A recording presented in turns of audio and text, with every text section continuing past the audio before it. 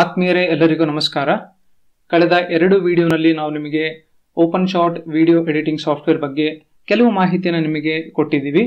So open shot video editing ಸಾಫ್ಟ್ವೇರ್ನ install ಮಾಡೋದು ಹೇಗೆ, ನಂತರ ಅದನ್ನು ಲಾಂಚ್ ಮಾಡೋದು ಹೇಗೆ, ಅದ್ರ ಬಗ್ಗೆ ಎಲ್ಲ ನಿಮಗೆ ಮಾಹಿತಿ ಕೊಟ್ಟಿದ್ದೀವಿ. ಅದಾದಮೇಲೆ ನಿಮಗೆ ಎರಡನೇ ವಿಡಿಯೋನಲ್ಲಿ ನಿಮಗೆ so open shot software main page ಅಥವಾ ಮೇನ್ ವಿಂಡೋ ಅಂತ ಇರುತ್ತಲ್ವಾ, ಅದ್ರ ಬಗ್ಗೆ ಎಲ್ಲ ನಿಮಗೆ ಮಾಹಿತಿನ ಕೊಟ್ಟಿದ್ದೀವಿ. ಸೊ ಇದರಲ್ಲಿ ಟೋಟಲ್ ಮೆನು ಬಾರ್ ಬಗ್ಗೆ ಹೇಳಿದ್ವಿ. So main main tool bar ಬಗ್ಗೆ ಹೇಳಿದ್ವಿ. ಜೊತೆಗೆ ಫಂಕ್ಷನ್ ಟ್ಯಾಬ್ಸ್ ಬಗ್ಗೆನೂ ಹೇಳಿದ್ವಿ. ಪ್ರಾಜೆಕ್ಟ್ ಫೈಲ್ಸ್ ಬಗ್ಗೆನೂ ನಿಮಗೆ ಚಿಕ್ಕದಾಗಿ ಒಂದು ಮಾಹಿತಿ ಕೊಟ್ಟಿದ್ದೀವಿ. ಈ ಪ್ರಿವ್ಯೂ ಫೈಲು ಮತ್ತೆ ಈ ಎಡಿಟಿಂಗ್ ಸೊ ಎಡಿಟಿಂಗ್ ಸೆಕ್ಷನ್ ಇದು.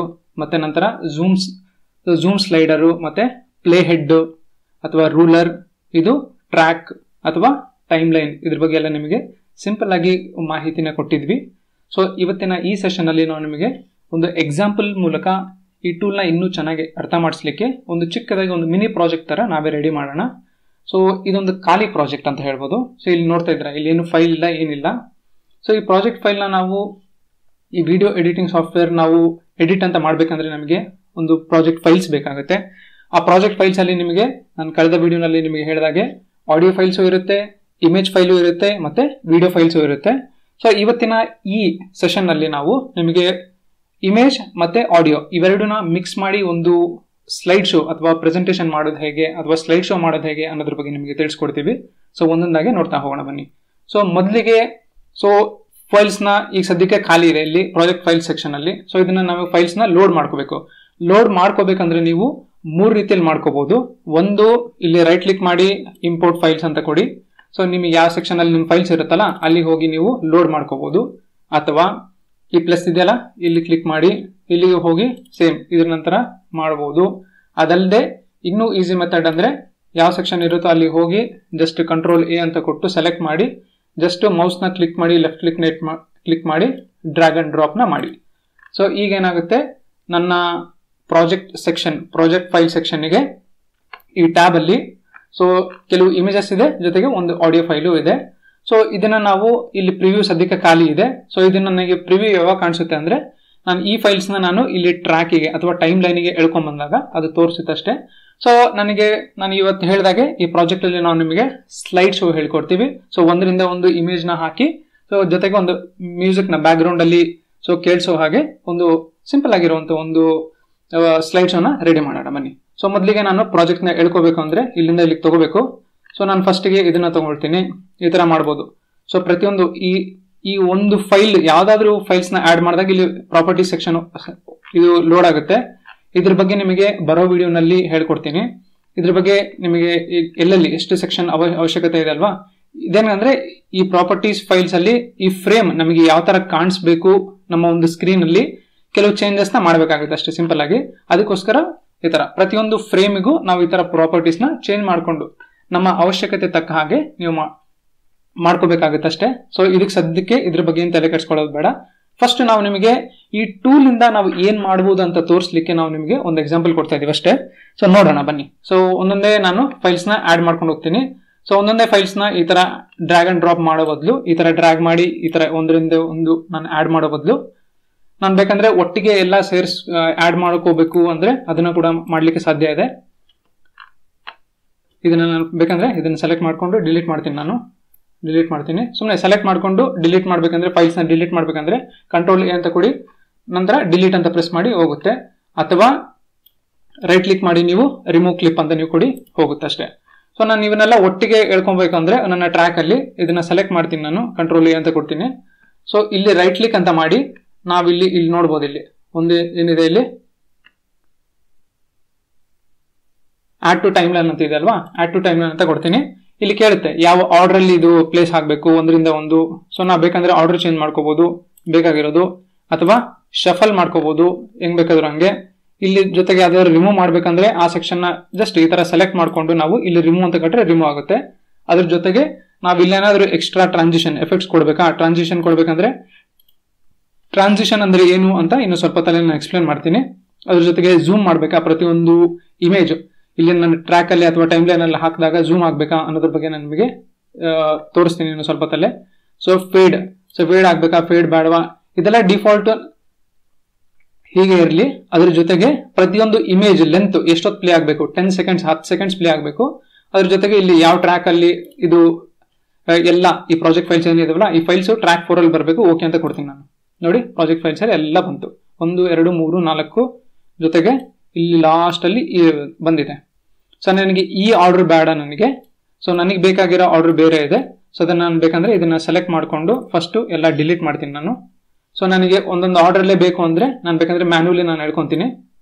ಈ ತರ ಹೇಳ್ಕೊತೀನಿ. ಒಂದು, ಎರಡು, ನಂತರ ಮೂರು, ನಾಲ್ಕು, ಐದು, ನಂತರ ಕೊನೆಗೆ ಆರು. ಸೊ ಈಗ ನಾನು ಒಂದರಿಂದ ಒಂದು ಸ್ಲೈ, ಈಗ ಸ್ಲೈಡ್ಸ್ನ ನಾನು ಆ್ಯಡ್ ಮಾಡ್ಕೊಂಡಿದ್ದೀನಿ. ಈಗ ಸುಮ್ಮನೆ ನಾನು ಪ್ಲೇ ಮಾಡೋದಾದರೆ, ಈಗ ಇಲ್ಲಿ, ಇದನ್ನ ಪ್ಲೇ ಹೆಡ್ ಅಥವಾ ರೂಲರ್ ಇದೆಲ್ಲ ಇದನ್ನ ರೂಲರ್ ಇದು ನಮ್ಮ ಪಾಯಿಂಟ್ ಆಫ್ ರೆಫರೆನ್ಸ್ ಇದು. ಇದನ್ನ ನಾನು ಸುಮ್ಮನೆ ಪ್ಲೇ ಮಾಡಿದ್ರೆ ನನ್ನ ಸ್ಲೈಡ್ ಶೋ ಸ್ಟಾರ್ಟ್ ಆಗುತ್ತೆ ನೋಡಿ. ಪ್ಲೇ ಪ್ಲೇ ಮಾಡಬೇಕಂದ್ರೆ ನಿಮ್ಮ ಕೀಬೋರ್ಡ್ ಅಲ್ಲಿ ಸ್ಪೇಸ್ ಬಾರ್ನ ಪ್ರೆಸ್ ಮಾಡಿದ್ರೆ ಪ್ಲೇ ಆಗ ಸ್ಟಾರ್ಟ್ ಆಗುತ್ತೆ ಅದು. ಈಗ ಸದ್ಯಕ್ಕೆ ನಿಮಗೆ ಹಿಂದ್ಗಡೆ ಏನು ಕೇಳಿಸ್ತಾ ಇಲ್ಲ. ಏನಕ್ಕಂದ್ರೆ ನನ್ನ ಮ್ಯೂಸಿಕ್ ಏನು ಕೊಟ್ಟಿಲ್ಲ. ನನ್ನ ಮಾತು ಮಾತ್ರ ನಿಮಗೆ ಕೇಳಿಸ್ತಾ ಇದೆ. ಈಗ ನಾನು ಸ್ಲೈಡ್ ಶೋ ಹೋಗ್ತಿದೆ ನೋಡಿ. ಸೊ ಒಂದಾದ್ಮೇಲೆ ಒಂದು. ನೆಕ್ಸ್ಟ್ ಇಲ್ಲಿಗೆ ಬರ್ತೀನಿ ನಾನು. ಎಲ್ಲಿ ಬೇಕಾದ್ರೆ ನೀವು ಟಕ್ ಅಂತ ನೋಡಿ, ಈ ತರ. ಒಂದಾದ್ಮೇಲೆ ಒಂದು ನೀಟಾಗಿ ಆಟೋಮೆಟಿಕ್ ಆಗಿ ಹೋಗ್ತಾ ಇದೆ. ಇದ್ರ ಜೊತೆಗೆ ಈಗ ನಾನು ನಿಮಗೆ ಟ್ರಾನ್ಸಿಷನ್ ಬಗ್ಗೆ ಹೇಳ್ಕೊಡ್ತೀನಿ. ಸೊ ಟ್ರಾನ್ಸಿಷನ್ ಅಂದ್ರೆ ಏನು ಅಂದ್ರೆ ಸೊ ಮತ್ತೆ ಇದು ಓಡ್ತಾ ಇರುತ್ತಲ್ಲ, ಇದನ್ನ ನಿಲ್ಸ್ಬೇಕಂದ್ರೆ, ಎಲ್ಲಿಂದ ನಿಲ್ಸ್ಬೇಕಂದ್ರೆ ಜಸ್ಟ್ ಮತ್ತೆ ನಿಮ್ಮ ಕೀಬೋರ್ಡ್ ಅಲ್ಲಿ ಸ್ಪೇಸ್ ಬಾರ್ನ ಕೊಟ್ರೆ ನಿಂತ್ಕೊಳ್ಳುತ್ತೆ. ಮತ್ತೆ ನಾನು ವಾಪಸ್ ಇಲ್ಲಿ ಹೋಗ್ಬೇಕಂದ್ರೆ ಫಸ್ಟ್ ಈಗ ಬರ್ತೀನಿ ನಾನು.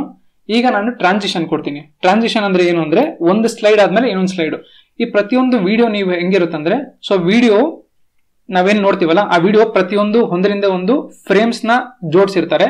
ಆ ಫ್ರೇಮ್ಸ್ ನೆಲ್ಲ ಜೋಡಿಸಿ ಒಂದು ವಿಡಿಯೋ ಅಂತ ರೆಡಿ ಮಾಡಿರ್ತಾರೆ. ಸೊ ಒಂದು ಫ್ರೇಮ್ ಇಂದ ಇನ್ನೊಂದು ಫ್ರೇಮಿಗೆ ಹೋಗ್ಬೇಕಂದ್ರೆ ಸೊ ಅದನ್ನ ಸ್ವಲ್ಪ ಸ್ಟೈಲ್ ಆಗಿ ಯಾವ ತರ ಟ್ರಾನ್ ಚೇಂಜ್ ಮಾಡೋದು, ಅದನ್ನ ಟ್ರಾನ್ಸಿಷನ್ ಅಂತ ಕರೀತಾರೆ. ಇದನ್ನ ಟ್ರಾನ್ಸಿಷನ್ ನೀವು ಎರಡು ರೀತಿಲಿ ಮಾಡಬಹುದು ಒಂದು ಈ ತರ ಸ್ಪೇಸಸ್ ಬಿಟ್ಕೊಂಡು, ಇನ್ ಮಾಡ್ಬೋದು. ಇನ್ನೊಂದೇನಂದ್ರೆ, ನಮ್ಮ ಸ್ಲೈಡ್ ಅಲ್ಲಿ ಅಥವಾ ಈ ಟ್ರ್ಯಾಕ್ ಅಲ್ಲಿ ಇಮೇಜಸ್ ನಾವು ಎಷ್ಟು ಉದ್ದಲ್ಲಿ ಅಂತ ಬೇಕಾದ್ರೂ ತಗೋಬಹುದು ಜಸ್ಟ್ ಈ ತರ ಡ್ರ್ಯಾಗ್ ಮಾಡ್ಕೊಂಡು ಹೋಗಿ ಇಷ್ಟು ಉದ್ದ ಇಷ್ಟು ಪ್ಲೇ ಆಗುತ್ತೆ. ಅಥವಾ ನೀವು ಚಿಕ್ಕದ್ ಮಾಡ್ಕೋಬೇಕು ಅಂದ್ರೆ ಇದನ್ನೆಲ್ಲಾದ್ರೂ ಮೂವ್ ಮಾಡ್ಬೇಕು ಅಂದ್ರೆ ಈ ತರ ಆರು ಬಂದಾಗ ಮಾಡ್ಕೋಬಹುದು ಇನ್ನೂ ಚಿಕ್ಕದ್ ಮಾಡ್ಕೋಬಹುದು ಡಿಫಾಲ್ಟ್ ಟೆನ್ ಟೆನ್ ಸೆಕೆಂಡ್ಸ್ ಇರುತ್ತೆ, ಹತ್ತು ಸೆಕೆಂಡ್ ಇರುತ್ತೆ. ಇನ್ನು ಕಡಿಮೆ ಮಾಡ್ಕೋಬೇಕಂದ್ರೂ ಕಡಿಮೆ ಮಾಡ್ಕೋಬಹುದು ಸೊ ಈಗ ನಾನು ಸ್ವಲ್ಪ ದೊಡ್ಡದು ಮಾಡ್ಕೊತೀನಿ. ಇವಾಗ ಟ್ರಾನ್ಸಿಷನ್ ಅಂತ ಕೊಡಬೇಕು ಅಂದ್ರೆ, ಈಗ ನಾನು ತೋರಿಸ್ತೀನಿ, ಇರಿ. ಯಾವ ತರ ಕಾಣಿಸುತ್ತೆ ಅಂತ ನಾನು ನಿಮಗೆ ತೋರಿಸ್ತೀನಿ. ಸೊ ಟ್ರಾನ್ಸಿಷನ್ ಅಂತ ಕೊಡಬೇಕು ಅಂದ್ರೆ ನಿಮಗೆ ನಾನು ಇಲ್ಲಿ ಮೂವ್ ಮಾಡ್ತೀನಿ ಇಲ್ಲಿ. ಈಗ ಇದನ್ನು ಸ್ವಲ್ಪ ಉದ್ದ ಮಾಡ್ಕೊತೀನಿ. ಈಗ ಟ್ರಾನ್ಸಿಷನ್ ಅಂತ ಕೊಡ್ಬೇಕು ಅಂದ್ರೆ ಇವಾಗ ನೋಡಿ ಅಬ್ಸರ್ವ್ ಮಾಡಿ ಯಾವ ತರ ಆಗುತ್ತೆ ಬಿಡ್ತೀನಿ ನಾನು. ಇಲ್ಲಿ ಬಂತಾ, ಇದು ಓವರ್ಲ್ಯಾಪ್ ಆಯ್ತು. ಸೊ ಫಸ್ಟ್ ಸ್ಲೈಡ್ ಮತ್ತೆ ಸೆಕೆಂಡ್ ಸ್ಲೈಡ್ ಓವರ್ಲ್ಯಾಪ್ ಆಯ್ತು. ಮತ್ತೆ ಸೆಕೆಂಡ್ ಸ್ಲೈಡ್ ಮತ್ತೆ ಥರ್ಡ್ ಸ್ಲೈಡ್ ಎಷ್ಟು ಉದ್ದ ಬೇಕೋ ಅಷ್ಟು ಉದ್ದ ನಾನು ಓವರ್ಲ್ಯಾಪ್ ಮಾಡ್ಕೊತೀನಿ. ನಿಮ್ ಇಷ್ಟ? ಅಲ್ಲೇ ಗೊತ್ತಾಗುತ್ತೆ ನಿಮಗೆ ಎಷ್ಟು ಸೆಕೆಂಡ್ಸ್ ಅದು ಪ್ಲೇ ಆಗುತ್ತೆ ಅಂತ. ಮತ್ತೆ ಥರ್ಡ್ ಸ್ಲೈಡ್ ಈ ತರ ಓವರ್ಲ್ಯಾಪ್ ಮಾಡ್ಕೊತೀನಿ ನಾನು. ಓಕೆ ಇದು ಬೇಡ. ಇದು ಹಂಗೆ ಇಟ್ಕೊಂತೀನಿ. ಇದನ್ನ ಕೂಡ ನಾನು ಅದೇ ತರ ಇಟ್ಕೊಂತೀನಿ. ಆಯ್ತಲ್ವಾ? ಈಗ ನಾನು ಪ್ಲೇ ಮಾಡ್ತೀನಿ ನೋಡಿ. ಸೊ ಸ್ಟಾರ್ಟಿಂಗ್ ಅಲ್ಲಿ ಇದನ್ನು ಬೇಡ. ಸ್ಟಾರ್ಟಿಂಗ್ ಅಲ್ಲಿ ಸುಮ್ಮನೆ ವಿಡಿಯೋ ಪ್ಲೇ ಆಗುತ್ತೆ ಅಷ್ಟೇ. ಖಾಲಿಯಾಗಿ ಪ್ಲೇ ಆಗುತ್ತೆ. ಇಲ್ಲಿ ಬರ್ತೀನಿ. ಯಾವ ತರ ಟ್ರಾನ್ಸಿಷನ್ ಚೇಂಜ್ ಆಗುತ್ತೆ ನೋಡಿ. ನೋಡಿ. ಚೇಂಜ್ ಆಯ್ತಲ್ವಾ? ಒಂದು ಸ್ಮೂತ್ ಟ್ರಾನ್ಸಿಷನ್ ಯಾವ ತರ ಕಾಣಿಸುತ್ತೆ? ಚೆನ್ನಾಗಿ ಕಾಣಿಸ್ತಾ ಇದೆ ಅಲ್ವಾ? ಒಂದು ವಿಡಿಯೋ ಒಂದು ಲುಕ್ ಬರಲಿಕ್ಕೆ ಈ ತರ ಟ್ರಾನ್ಸಿಷನ್ಸ್ ಎಲ್ಲ ನಾವು ಬಳಸ್ತೀವಿ ಅಷ್ಟೇ. ಸೊ ಇದನ್ನ ನಾನು ಪಾಸ್ ಮಾಡ್ತೀನಿ. ಟ್ರಾನ್ಸಿಷನ್ ಬಗ್ಗೆ. ಸೊ ಇದು ಜಸ್ಟ್ ಸುಮ್ಮನೆ ಒಂದು ಸ್ಲೈಡ್ ಮೇಲೆ ಇನ್ನೊಂದು ಸ್ಲೈಡ್ ಅಥವಾ ಒಂದು ಇಮೇಜ್ ಮೇಲೆ ಇನ್ನೊಂದು ಇಮೇಜ್ ಪುಷ್ ಮಾಡಿದಾಗ ಈ ತರ ಟ್ರಾನ್ಸಿಷನ್ ಆಗುತ್ತೆ. ಅದಲ್ಲದೆ ನಿಮಗೆ ಇದು ಬೇಡ ಅಂದ್ರೆ ನನಗೆ ಈ ಟ್ರಾನ್ಸಿಷನ್ ಬೇಡ ಅಂದ್ರೆ ಸುಮ್ಮನೆ ಸೆಲೆಕ್ಟ್ ಮಾಡಿಕೊಂಡು ಡಿಲೀಟ್ ಮಾಡಿದ್ರೆ ಆ ಟ್ರಾನ್ಸಿಷನ್ ಹೋಯ್ತು. ಮತ್ತೆ ನೀವು ಹಿಂದೆಗಡೆ ಸರಿಸ್ಬೋದು ಇದನ್ನ. ಡಿಲೀಟ್ ಆಯ್ತು. ಯಾಕಂದ್ರೆ ಡಿಲೀಟ್ ಮಾಡ್ತೀನಿ ನಾನು. ಮುಗೀತಲ್ವಾ? ಸೊ ನನಗೆ ಬೇಡ ಅಂದ್ರೆ ಮತ್ತೆ ಹಿಂದ್ಗಡೆ ಹೋಯ್ತು ನೋಡಿ ಅದು. ಇದು ನನಗೆ ಬೇಡ ಅಂದ್ರೆ ನಾನು ಡಿಲೀಟ್ ಮಾಡ್ತೀನಿ. ಸೊ ಈ ತರ ಟ್ರಾನ್ಸಿಷನ್ ನನಗೆ ಬೇಡ ಅಂದ್ರೆ ಇವಾಗ ನಾನು ಎಲ್ಲ ಸೆಲೆಕ್ಟ್ ಮಾಡ್ಕೊಂಡು ಸದ್ಯಕ್ಕೆ ನಾನು ರೈಟ್ ಕ್ಲಿಕ್ ಮಾಡಿ ರಿಮೂವ್ ಕ್ಲಿಕ್ ಮಾಡ್ತೀನಿ. ಈಗ ಮತ್ತೆ ನಾನು ಇನ್ನೊಂದ್ಸಲ ಟ್ರ್ಯಾಕ್ಸ್ನ ಆಡ್ ಮಾಡಿ ಬೇರೆ ತರ ಟ್ರಾನ್ಸಿಷನ್ ಕೊಡ್ತೀನಿ. ಅದು ಯಾವ ತರ ಕಾಣಿಸುತ್ತೆ ನೋಡೋಣ, ಬನ್ನಿ. ನಂತರ ಇದು ಮತ್ತೆ ಇದು ಕೊನೆಗೆ ಥ್ಯಾಂಕ್ ಯು ಈಗ ಟ್ರಾನ್ಸಿಷನ್ ಅಂತ ಬಂದಾಗ ನೀವು ಇಲ್ಲಿ ನೋಡ್ಬೋದು. ಟ್ರಾನ್ಸಿಷನ್ ಅಂತ ಇದೆ ಅಲ್ವಾ? ಸೊ ನಿಮಗೆ ಹಲವಾರು ಟ್ರಾನ್ಸಾಕ್ಷನ್ ಇದೆ. ಒಂದು ಟ್ರಾನ್ಸಾಕ್ಷನ್ ತೋರಿಸ್ತೀನಿ. ಯಾವ ತರ ಅದು ಪ್ಲೇ ಓಪನ್ ಆಗುತ್ತಂತ. ಇದನ್ನ ಎಲ್ಲಿ ಬೇಕಾದರೂ, ಎಷ್ಟು ಲೆಂತ್ ಬೇಕಾದರೂ ಇಟ್ಕೋಬಹುದು ನೋಡಿ, ಈ ತರ ಓಪನ್ ಮಾಡ್ತೀನಿ. ಜಸ್ಟ್ ಗಮನಿಸಿ ಇವಾಗ ಯಾವ ತರ ಪ್ಲೇ ಆಗುತ್ತಂತ. ನೋಡಿದ್ರಲ್ವಾ? ಒಂದು ಓಪನಿಂಗ್ ವಿಡಿಯೋ ಓಪನ್ ಆಗಬೇಕಾದ್ರೆ ಇದನ್ನ ಎಲ್ಲಿ, ಎಷ್ಟು ಉದ್ದ, ಎಷ್ಟು ಟೈಮ್ ಬೇಕಾದರೂ ನೀವು ಇದನ್ನ ಸೆಟ್ ಮಾಡ್ಕೋಬಹುದು ಇಲ್ಲಿ ನಾನು ನೋಡೋದಾದ್ರೆ, ಇನ್ನೊಂದು ಇನ್ನೊಂದು ಟ್ರಾನ್ಸಾಕ್ಷನ್ ನಾನು ಕೊಡ್ತೀನಿ. ಇಲ್ಲಿ ಕೊಡ್ತೀನಿ ನಾನು. ನೀವು ಎಲ್ಲಿ ಬೇಕಾದರೂ, ಯಾವ ಸೆಕ್ಷನ್ ಅಲ್ಲಿ ಬೇಕಾದರೂ ಎಷ್ಟು ಎಷ್ಟು ಉದ್ದ ಬೇಕಾದರೂ ನೀವು ಕೊಟ್ಕೋಬೋದು. ಈ ತರ. ಇಲ್ಲೊಂದು ಕೊಡ್ತೀನಿ ನೋಡಿ. ಪ್ಲೇ ಮಾಡ್ತೀನಿ. ಜಸ್ಟ್ ಇದರ ಪ್ರಿವ್ಯೂ ನೀವು ನೋಡ್ಬೇಕು ನೀವು ನೋಡ್ಬೇಕಂದ್ರೆ ಜಸ್ಟ್ ಈ ಥರ ಸ್ಪೇಸ್ ಬಾರ್ನ ಪ್ರೆಸ್ ಮಾಡಿದ್ರೆ ಅದು ಲೋಡ್ ಆಗುತ್ತೆ. ಇನ್ನೊಂದು ಟ್ರಾನ್ಸಿಷನ್ ಕೊಡೋಣ. ಯಾವುದೋ ಒಂದು ಇಲ್ಲಿ ಕೊಡೋಣ ಇಲ್ಲಿ. ಇವಾಗ ಇಲ್ಲೊಂದು ಪ್ಲೇ ಮಾಡ್ತೀನಿ. ಸ್ಪೇಸ್ ಬಾರ್ ಕೊಡಬೇಕು. ಕರೆಕ್ಟ್ ಆಗಿದೆ ಅಂದಾಗ ಮಾತ್ರ. ಸೊ ನೀವು ಅಕಾರ್ಡಿಂಗ್ಲಿ ಬೇಕಂದ್ರೆ ನೀವು ಇಲ್ಲಿ ಶಿಫ್ಟ್ ಮಾಡ್ಕೋಬಹುದು ಯಾವ ಸೆಕ್ಷನ್ ಬೇಕಂದ್ರು ಇದಕ್ಕೆ ಸ್ವಲ್ಪ ತಾಳ್ಮೆ ಬೇಕಾಗುತ್ತೆ. ಸ್ವಲ್ಪ ಪ್ರಾಕ್ಟೀಸ್ ಬೇಕಾಗುತ್ತೆ. ಸೂಕ್ಷ್ಮವಾಗಿ ನೀವು ಯಾವ ಜಾಗಕ್ಕೆ ಬೇಕೋ ಆ ಜಾಗಕ್ಕೆ ಕರೆಕ್ಟ್ ನೋಡಿ ನೀವು ಕೊಡ್ಬೋದು. ಸೊ ಇದು ಮ್ಯಾನ್ಯುವಲ್ ಟ್ರಾನ್ಸಿಷನ್ ಸೊ ಇದು ನಮಗೆ ಇಲ್ಲಿ ಹಲವಾರು ನೂರಾರು ಟ್ರಾನ್ಸಿಷನ್ಸ್ ಇದೆ. ನಿಮಗೆ ಯಾವ್ದು ಬೇಕೋ, ಯಾವ ಸೆಕ್ಷನ್ ಅಲ್ಲಿ ಬೇಕೋ, ಈ ವಿಡಿಯೋ ಮಧ್ಯದಲ್ಲಿ ಬೇಕಾದ್ರೆ ನೀವು ಟ್ರಾನ್ಸಿಷನ್ ಕೊಡ್ತೀರಾ? ಕೊಡ್ಬೋದು. ಇಲ್ಲಿ ಓಡ್- ಓಡ್ತಾ ಇರುತ್ತೆ ನೋಡಿ. ನೋಡಿ, ಇಲ್ಲಿ ಬಂತು. ನೀವು ಎಲ್ಲಿ ಬೇಕಾದರೂ ಕೊಡ್ಬೋದು.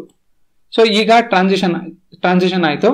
ಸೊ ಈಗ ಟ್ರಾನ್ಸಿಷನ್ ಜೊತೆಗೆ ನಾನೊಂದು ಕೆಲವು ಮ್ಯೂಸಿಕ್ ಆ್ಯಡ್ ಮಾಡಬೇಕು. ಮ್ಯೂಸಿಕ್ ಆ್ಯಡ್ ಮಾಡಬೇಕು ಅಂದರೆ ನಾನು ಮತ್ತೆ ಪ್ರಾಜೆಕ್ಟ್ ಫೈಲ್ಸಿಗೆ ಹೋಗ್ತೀನಿ. ಸೊ ನನ್ನ ಹತ್ರ ಸದ್ಯಕ್ಕಿಲ್ಲ, ಇಷ್ಟೊತ್ತು ನೀವೆಲ್ಲ ಖಾಲಿ ಸ್ಲೈಡ್ಸ್ನ ನೋಡಿದ್ರಿ ನೀವು. ಸೊ ಖಾಲಿ ಸ್ಲೈಡ್ಸ್ನ ನೋಡಿದಾಗ ಸೊ ನಾನು ಇಲ್ಲಿ ಒಂದು ಮ್ಯೂಸಿಕ್ ಇದೆ, ನನ್ನ ಹತ್ರ ಒಂದು ಮ್ಯೂಸಿಕ್ ಫೈಲ್ ಇದೆ. ಇದನ್ನ ಇಲ್ಲಿ ಕೆಳಗಡೆ ಹೇಳ್ಕೊಂಬರ್ತೀನಿ ಇದ್ರ ಮೇಲೆ ಹಾಕಬಾರ್ದು. ಕೆಳಗಡೆ ಹಾಕಿದಾಗ ಇಲ್ಲಿ ನೋಡ್ಬೋದು ನೀವು. ಇಷ್ಟು ನನ್ನ ಫೈಲ್ ಇರೋದು, ಇಲ್ಲಿವರೆಗೂ ನನ್ನ ವಿಡಿಯೋ ಇದೆ ಅಷ್ಟೇ. ಅಂದ್ರೆ ಸ್ಲೈಡ್ ಶೋ ಇಲ್ಲಿವರೆಗೂ ಇದೆ. ನಂತರ ಈ ವಿಡಿಯೋನ ಸೊ ಆಡಿಯೋ ಲೆಂತ್ ಇಷ್ಟು ಫುಲ್ ಇದೆ. ಇದನ್ನ ಕಟ್ ಮಾಡಬೇಕು ಅಂದ್ರೆ ಇಲ್ಲೊಂದು ಕತ್ತರಿ ಸರ ಸಿಂಬಲ್ ಇದೆಯಲ್ಲ, ಇದನ್ನ ಈ ಸೆಕ್ಷನ್ ಸೆಲೆಕ್ಟ್ ಮಾಡ್ತೀನಿ ನಾನು. ಇಲ್ಲಿ ಹೋಗಿ ಡಿಲ್ ಇನ್ಸರ್ಷನ್ ಮಾಡಿದಾಗ ಡಿಲೀಟ್ ಮಾಡಿ. ಮತ್ತೆ ಇಲ್ಲಿ ಪ್ರೆಸ್ ಮಾಡಿ. ಈ ಕೈ ಸಿಂಬಲ್ ಬಂದಾಗ ಡಿಲೀಟ್ ಆಗುತ್ತೆ. ಇದನ್ನ ಸುಮ್ಮನೆ ಸೆಲೆಕ್ಟ್ ಮಾಡಿಕೊಂಡು ಡಿಲೀಟ್ ಡಿಲೀಟ್ ಅಂತ ಪ್ರೆಸ್ ಮಾಡಿ. ಈಗ ವಿಡಿಯೋ ಪ್ಲೇ ಆಗಕ್ಕೆ ಸ್ಟಾರ್ಟ್ ಆಗುತ್ತೆ ನೋಡಿ.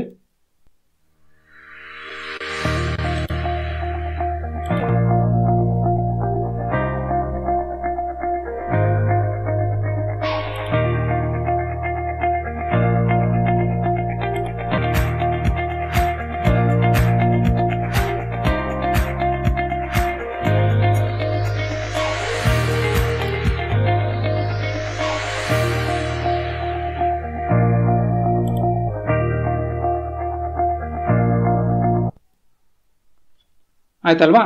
ಸೊ ಈ ವಿಡಿಯೋ ನಮಗೆಲ್ಲ ಚೆನ್ನಾಗಿದೆ, ಈ ಟ್ರಾನ್ಸಿಷನ್ ಎಲ್ಲ ಚೆನ್ನಾಗಿದೆ ಅಂತ ನಮಗೆ ಕನ್ಫರ್ಮ್ ಆದ್ಮೇಲೆ ಇದನ್ನ ರೆಂಡರ್ ಮಾಡಬೇಕಾಗುತ್ತೆ.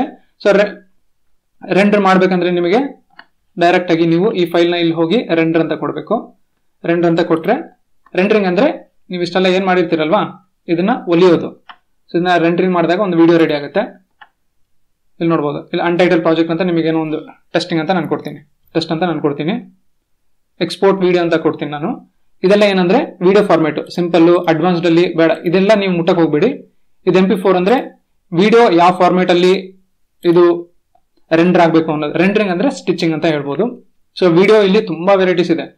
ಸೊ ಇಲ್ಲಿ ಡೆಫಿನೇಷನ್ಸ್ ಎಲ್ಲ ತುಂಬಾ ಹೆಚ್ ಡಿ ಬೇಕಾ? ಅಥವಾ ಇನ್ನು ಸ್ವಲ್ಪ ರೆಸಲ್ಯೂಷನ್ ಕಡಿಮೆ ಇರೋದು ಬೇಕಾ? ಅನ್ನೋದಾದ್ರೆ ನೀವು ಅದನ್ನ ಕೊಟ್ಕೋಬಹುದು ಬೈ ಡಿಫಾಲ್ಟ್ ಇದನ್ನೇ ಇರಲಿ. ಈ ಟೂಲ್ ಅಲ್ಲಿ ಏನ್ ಬರುತ್ತಲ್ವಾ? ಇದನ್ನ ನಾನು ಓಕೆ ಅಂತ ಕೊಡ್ತೀನಿ ನಾನು. ಎಕ್ಸ್ಪೋರ್ಟ್ ವಿಡಿಯೋ ಅಂತ ಬಂದಾಗ ಈ ತರ ಸ್ಟಾರ್ಟ್ ಆಗುತ್ತೆ ಸೊ ವಿಡಿಯೋ ಲೆಂತ್ ಮೇಲೆ ಟೈಮು ಸ್ವಲ್ಪ ಹೆಚ್ಚು ಕಡಿಮೆ ತಗೊಳುತ್ತದು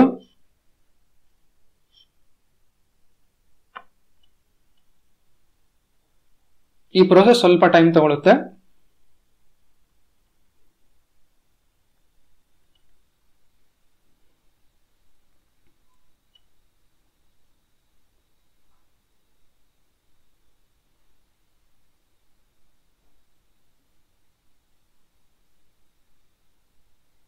ಸೊ ಮುಗೀತು. ಈ ಫೈಲ್ನ ಕೂಡ ದಯವಿಟ್ಟು ಸೇವ್ ಮಾಡಿ ಇಟ್ಕೋಬೇಕು. ಸೇವ್ ಪ್ರಾಜೆಕ್ಟ್ ಆಸ್ ಅಂತ ಕೊಡ್ತೀನಿ ನಾನು. ಟೆಸ್ಟ್ ಪ್ರಾಜೆಕ್ಟ್ ಅಂತ ಕೊಡ್ತೀನಿ. ಟೆಸ್ಟ್ ಅಂತ ಓ ಎಸ್ ಪಿ ಅಂತ ನಾನು ಕೊಡ್ತೀನಿ. ಸೇವ್ ಅಂತ ಕೊಡ್ತೀನಿ. ಏನಕ್ಕಂದ್ರೆ ಫ್ಯೂಚರ್ ಅಲ್ಲಿ ನಾವು ಇದೇ ಪ್ರಾಜೆಕ್ಟ್ ಅಲ್ಲಿ ಏನಾದರೂ ರಿಮೂವ್ ಮಾಡಬೇಕು ಅಥವಾ ಏನಾದರೂ ಆಡ್ ಮಾಡಬೇಕು ಅಂದಾಗ ಈ ಪ್ರಾಜೆಕ್ಟ್ ಫೈಲ್ ನಮಗೆ ಹೆಲ್ಪ್ ಆಗುತ್ತೆ. ಸೊ ಇದನ್ನ ನಾನು ಬೇಕಂದ್ರೆ ಮಿನಿಮೈಸ್ ಮಾಡಿಕೊಂಡು ಈಗ ನಾನು ಈ ಫೈಲ್ ಎಲ್ಲಿದೆ ಅದನ್ನ ನೋಡೋಣ ಬನ್ನಿ. ಹೋಮ್ ಅಂತ ಇದೆ. ಸೊ ಟೆಸ್ಟ್ ಅಂತ ಇದೆ ಅಲ್ವಾ?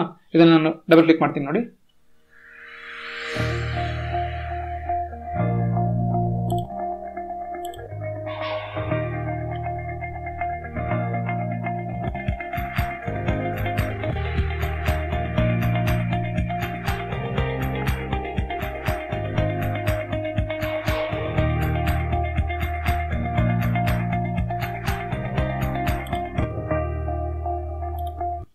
ಈ ರೀತಿಲಿ ನಾವು ವಿಡಿಯೋನ ರೆಂಡರ್ ಮಾಡಿ ಪ್ಲೇ ಮಾಡಬೇಕಾಗುತ್ತೆ ಅಷ್ಟೇ. ಸೊ ನೆಕ್ಸ್ಟ್ ಅಂತ ಬಂದಾಗ ನಿಮಗೆ ಇನ್ನೊಂದು ನಾನು ಎಕ್ಸ್ಪ್ಲೈನ್ ಮಾಡ್ತೀನಿ ಇಲ್ಲಿ. ಸೊ ಇದ್ರ ಜೊತೆ ಏನಾದರೂ ನೀವು ಟೈಟಲ್ಸ್ ಏನಾದರೂ ಆ್ಯಡ್ ಮಾಡಬೇಕು ಅಂದರೆ ಟೈಟಲ್ಸ್ ಇವ ನಾನು ಇಲ್ಲಿ ತೋರಿಸ್ತೀನಿ ನೋಡಿ ನಿಮಗೆ ಕೆಳಗಡೆ. ಈಗ ಸದ್ಯಕ್ಕೆ ಬರೀ ಪ್ಲೇನ್ ಇದೆ. ಇಲ್ಲಿ ಪ್ಲೇನ್ ಇದೆ ಅಲ್ವಾ? ಇದಕ್ಕೇನಾದರೂ ಒಂದು ಟೈಟಲ್ನ ಆ್ಯಡ್ ಮಾಡಬೇಕು ಅಂದರೆ ಇಲ್ಲಿ ಸಿಂಪಲ್ ಈ ಟೈಟಲ್ ಸೆಕ್ಷನಿಗೆ ಹೋಗಿ ನಿಮಗೆ ಹಲವಾರು ವೆರೈಟೀಸ್ ಟೈಟಲ್ಸ್ ಇದೆ. ನಾನು ಯಾವುದಾದ್ರು ಒಂದು ಸಿಂಪಲ್ ಟೈಟಲ್ ವೆಲ್ಕಮ್ ಅಂತ ನಾನು ಕೊಡ್ತೀನಿ. ವೆಲ್ಕಮ್ ಅಂತ ಕೊಡ್ತೀನಿ. ಸೇವ್ ಅಂತ ಕೊಡ್ತೀನಿ ನಾನು. ಇದನ್ನು ನಾನು ಇಲ್ಲಿ ಹಾಕ್ತೀನಿ ಇಲ್ಲಿ. ಇದ್ರ ಮೇಲೆ ಹಾಕಿದಾಗ ಏನಾಗುತ್ತೆ ಅಂದ್ರೆ ಸೊ ಪ್ರತಿಯೊಂದು ವಿಡಿಯೋ ಮೇಲೆ ಒಂದು ಇಮೇಜ್ ಅಂತ ಪ್ಲೇ ಆದಾಗ ಅಲ್ಲಿ ನೋಡಿ, ಈಗ ನಾನು ಪ್ಲೇ ಮಾಡ್ತೀನಿ ಇದು. ಯಾವ ತರ ಪ್ಲೇ ಆಗುತ್ತೆ? ನೋಡಿ, ಈ ತರ ಟೈಟಲ್ಸ್ ಎಲ್ಲ ಹಾಕ್ಬೋದು. ಆ ತರ ಒಂದು ಪ್ರಾಜೆಕ್ಟ್ ನಿಮ್ಗೋಸ್ಕರ ನಾನು ಒಂದು ರೆಡಿ ಮಾಡಿ ಇಟ್ಟಿದ್ದೀನಿ. ಅದನ್ನು ನಾನು ಇಲ್ಲಿ ತೋರಿಸ್ತೀನಿ ನಿಮಗೆ. ತುಂಬಾ ಚೆನ್ನಾಗಿದೆ. ನೋಡಿ, ಒಂದು slide show Hampi slide show ಅಂತ. ನೋಡಿ. ಈ ವಿಡಿಯೋನ ನೀವು ಅಬ್ಸರ್ವ್ ನೋಡ್ತಾ ಇರಿ ಅಷ್ಟೇ. ಹಲವಾರು ಟೈಟಲ್ಸ್ನ ನಾನು ಕೊಟ್ಟಿದ್ದೀನಿ. ವಿರೂಪಾಕ್ಷ ಟೆಂಪಲ್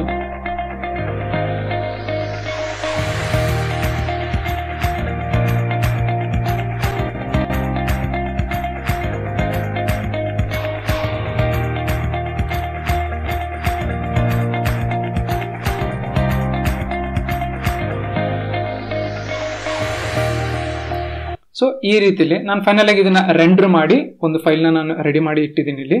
ಸೊ ನಿಮಗೋಸ್ಕರ ಅದೇ ಫೈಲು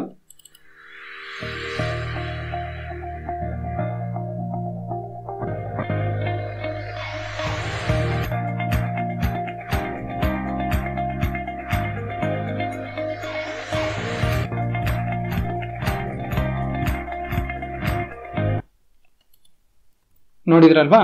ಸೊ ಇವತ್ತಿನ ಸೆಷನ್ ಅಲ್ಲಿ ನಾವು ನಿಮಗೆ ಒಂದು ಸಿಂಪಲ್ ಆಗಿ ಒಂದು ಇಮೇಜ್ ಜೊತೆ ಆಡಿಯೋನ ಮಿಕ್ಸ್ ಮಾಡೋದು ಹೇಗೆ, ಅದ್ರ ಜೊತೆಗೆ ಟೈಟಲ್ನ ಆಡ್ ಮಾಡೋದು ಹೇಗೆ, ಅದ್ರ ಜೊತೆಗೆ ಟ್ರಾನ್ಸಿಷನ್ಸ್ನ ಕೊಡೋದು ಹೇಗೆ, ಇಲ್ಲಿ ಹೋಗಿ ಟೈಟಲ್ಸ್ ಟೈಟಲ್ ಸೆಕ್ಷನ್ ಅಲ್ಲಿ ಟೈಟಲ್ಸ್ನ ಆಡ್ ಮಾಡೋದು ಹೇಗೆ ಟ್ರಾನ್ಸಿಷನ್ ಆಡ್ ಮಾಡೋದು ಹೇಗೆ, ಅದ್ರ ಜೊತೆಗೆ ಫೈನಲ್ ಆಗಿ ವಿಡಿಯೋನ ರೆಂಡರ್ ಮಾಡೋದು ಹೇಗೆ ಅನ್ನೋದ್ರ ಬಗ್ಗೆ ನಿಮಗೆ ತಿಳಿಸ್ಕೊಟ್ಟಿದ್ದೀವಿ ಸೊ ನೀವು ಇದನ್ನ ಒಂದ್ಸಲ ಪ್ರಾಕ್ಟೀಸ್ ಮಾಡಿ, ಮತ್ತೆ ಮುಂದಿನ ವಿಡಿಯೋನಲ್ಲಿ ನಿಮಗೆ ಇನ್ನೊಂದು ಹೊಸ ಪ್ರಾಜೆಕ್ಟ್ ಸೊ ಇವತ್ತು, ಇವತ್ತಿನ ವಿಡಿಯೋನಲ್ಲಿ ನಿಮಗೆ ಈ ಪ್ರಾಜೆಕ್ಟ್ ಅಲ್ಲಿ ನಾವು ನಿಮಗೆ ಇಮೇಜ್ ಮತ್ತೆ ಆಡಿಯೋ ಇವೆರಡು ಮಿಕ್ಸ್ ಮಾಡೋದು ಹೇಗೆ ಅನ್ನೋದ್ರ ಬಗ್ಗೆ ತೋರಿಸಿದ್ವಿ. ಮತ್ತೆ ಮುಂದಿನ ವಿಡಿಯೋನಲ್ಲಿ ನಿಮಗೆ ಆಡಿಯೋ ಮತ್ತೆ ಇಮೇಜ್ ಇದ್ರ ಜೊತೆಗೆ ಒಂದು ವಿಡಿಯೋನ ಮಿಕ್ಸ್ ಮಾಡೋದು ಹೇಗೆ ಅದ್ರ ಬಗ್ಗೆ ನಿಮಗೆ ತಿಳಿಸ್ಕೊಡ್ತೀನಿ. ಸೊ ಪ್ರತಿಯೊಂದು ಪ್ರಾಜೆಕ್ಟ್ ಫೈಲ್ಸ್ ಅಲ್ಲೂ ಈ ಮೂರು ಇರುತ್ತೆ. ಸೊ ಒಂದೊಂದರಲ್ಲಿ ನಿಮಗೆ ವಿಡಿಯೋ ಅಂತೂ ಕಂಪಲ್ಸರಿ ವಿಡಿಯೋ ಇದ್ರೂ ಇರುತ್ತೆ, ಇಲ್ಲಾಂದ್ರೆ ಇಲ್ಲ. ಸೊ ಇಮೇಜ್ ಒಂದ್ಸಲ ಇದ್ರೂ ಇರುತ್ತೆ. ಸೊ ಮುಂದಿನ ವಿಡಿಯೋನಲ್ಲಿ ನಿಮಗೆ ಒಂದು ವಿಡಿಯೋ ಆಡಿಯೋ ಮತ್ತೆ ಇಮೇಜ್ನ ಸೇರಿಸಿ ಒಂದು ವಿಡಿಯೋನ ಮಾಡೋದು ಹೇಗೆ ಅಥವಾ ಒಂದು ಪ್ರಾಜೆಕ್ಟ್ ಮಾಡೋದು ಹೇಗೆ ಅದ್ರ ಬಗ್ಗೆ ನಿಮಗೆ ತಿಳಿಸ್ಕೊಡ್ತೀನಿ. ಅಲ್ಲಿವರೆಗೂ ನೀವು ಇದನ್ನ ಒಂದ್ಸಲ ಪ್ರಾಕ್ಟೀಸ್ ಮಾಡ್ತಾ ಇರಿ ಸೊ ಇವತ್ತಿನ ಈ ವಿಡಿಯೋ ನಿಮಗೆ ಉಪಯೋಗ ಆಗಿದೆ ಅಂತ ಭಾವಿಸ್ತಾ ಇದ್ದೀವಿ ಮತ್ತೆ ಮುಂದಿನ ವಿಡಿಯೋನಲ್ಲಿ ಭೇಟಿಯಾಗೋಣ. Thank you so much